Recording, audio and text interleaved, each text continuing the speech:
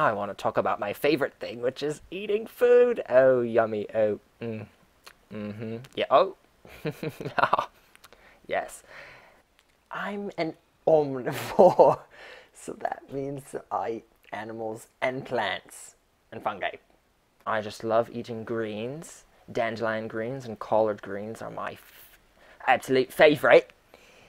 Nothing is better than them. Nothing's better. Except maybe blueberries. Right on. But I definitely love the little insects the most. I can be quite a voracious, opportunistic predator. mm-hmm. Unlike me, the alligator lizard and the fence lizard are both carnivorous. So they only eat animals. This fence lizard is eating another lizard. How could you do that? I'm just kidding. I would do the same thing. I just ate a grub. Now, the rest of the video is going to be me eating bell pepper, so if you'd like to continue watching, please. I do love vegetables. Do you like vegetables? I simply adore 'em, mate. I adore 'em. There's nothing better than a good old brekkie.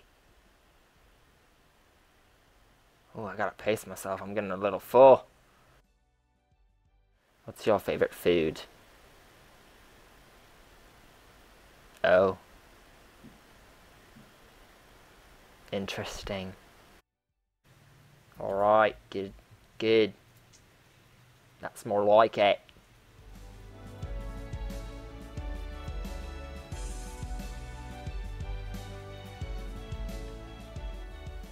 Well, I hope you learned something here, and I uh, look forward to seeing you maybe someday. I don't know.